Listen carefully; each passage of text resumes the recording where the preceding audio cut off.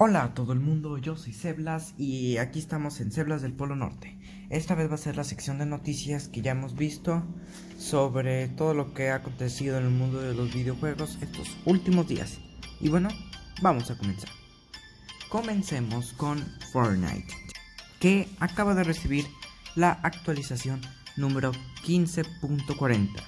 Y aquí les voy a dar un breve vistazo de todo lo nuevo que ha habido. Primero la nueva escopeta que puede salir en los cofres o en loot, lo que sea.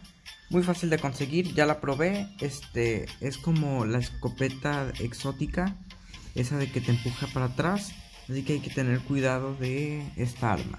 Y aquí les voy a dar un resumen de todos los cosméticos nuevos.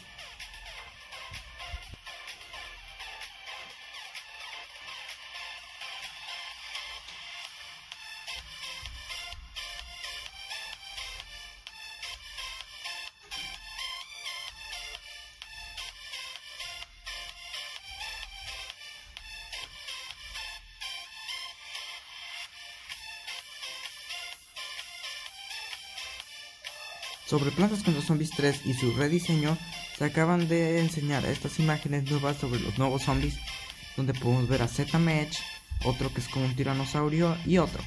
Y también unas nuevas plantas, que por ejemplo tenemos a este tronco, que la verdad me encanta su diseño. Y bueno, después voy a estar subiendo un video sobre Plantas contra Zombies 3 y todo su rediseño, su historia. también tenemos a esta Z solar que también me gustó mucho su diseño y pues va a ser lo mismo supongo que los de otro juego. Otra planta que también es esta lanza uvas, no sé cómo se vaya a llamar, que también me gustó bastante su diseño y parece que va a ser lo mismo que lanza arroz pegajoso. Es otra planta de plantas contra zombies 2 que las balas que lanzan hacen un, un daño de 3x3 y pues no sé, todavía no se sabe cuánto va a costar y todo eso.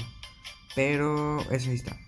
También sobre Plantas contra Zombies 2 tenemos que ya salió la enredadera nefasta y su lote antes de que esté en el batallas. Si lo quieren conseguir antes que todos pueden comprarlo por 500 pesos mexicanos. Mi opinión sobre la planta es que sí está bien, pero pudieron haberla hecho un poco mejor.